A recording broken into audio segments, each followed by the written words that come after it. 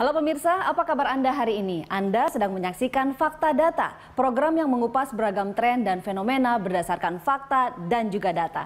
Bersama saya Andi Rahmi, inilah Fakta Data.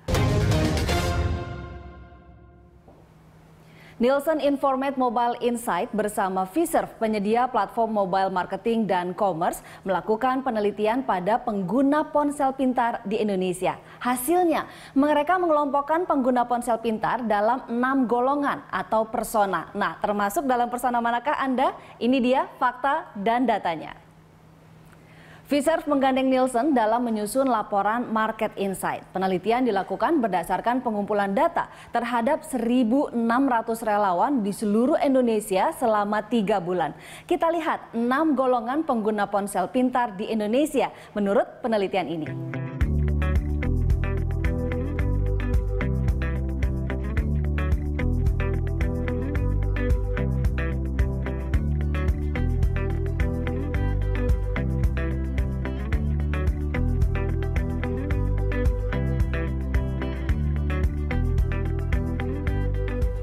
Fiserv menemukan 20 persen pengguna ponsel pintar di Indonesia rakus akan data.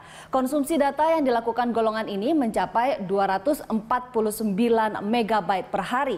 Porsi terbesarnya masih menggunakan layanan data operator sebesar 140 megabyte atau sekitar 56 persen konsumsi data. Sisanya sebesar 44 persen atau 109 megabyte diunduh menggunakan fasilitas Wi-Fi.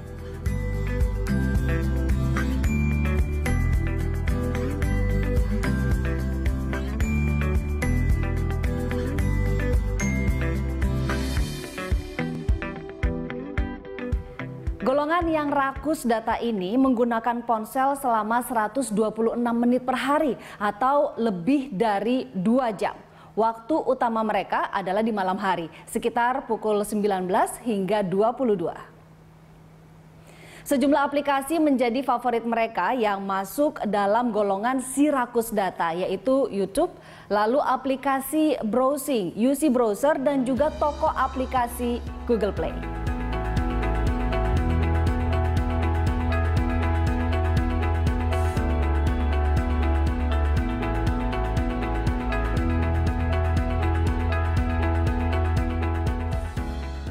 Golongan kedua adalah gamer alias penggemar game. Porsinya sebesar 19% dari pengguna ponsel pintar di Indonesia. Golongan ini menghabiskan waktu bermain game di ponsel pintar hingga 91,2 menit per hari. Tak heran jika golongan ini memiliki konsumsi data yang cukup tinggi, yaitu 179 MB per hari.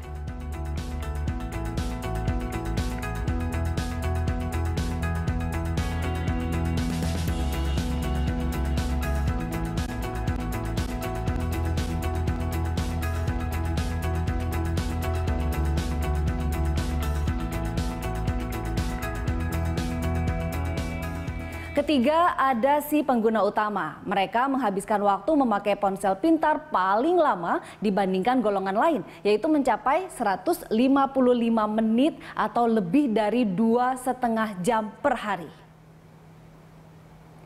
Golongan berikutnya dikelompokkan sebagai pembicara. Ini karena mereka bisa menghabiskan waktu hingga 10 menit per hari untuk menelpon, baik panggilan selular maupun VoIP.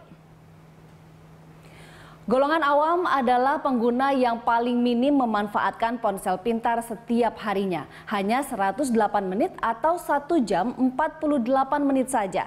Menariknya, golongan ini diperkirakan berusia 36 tahun ke atas.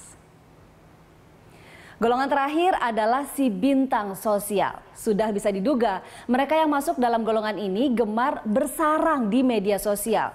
Pengguna ponsel pintar yang masuk golongan bintang sosial ternyata cukup banyak, yaitu 14 persen dari pengguna ponsel pintar di Indonesia.